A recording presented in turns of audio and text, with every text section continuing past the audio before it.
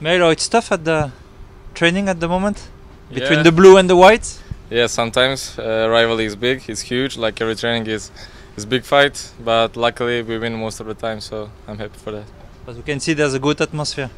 Yeah, it's pretty good. It's amazing since the beginning of the season. We're on a good way, and I hope uh, we'll keep it this way. Yeah, How's it been going for you? How did you feel about this start of the season? I play many different positions, but I get more chances than uh, than last season. So I'm pretty like satisfied. But to be honest, I expect to get more chance in the future. But for now, I'm happy with it. How do you, do you feel about the, the team? The team spirit, you mean? Yeah, the team and the and the, the performances of the team so far. Yeah, I think we, we have amazing squad. I think uh, our number one thing is team spirit. I think that's what uh, holding us through the season, and that's what we show game by game. So I think we're on a pretty good way to onto something big.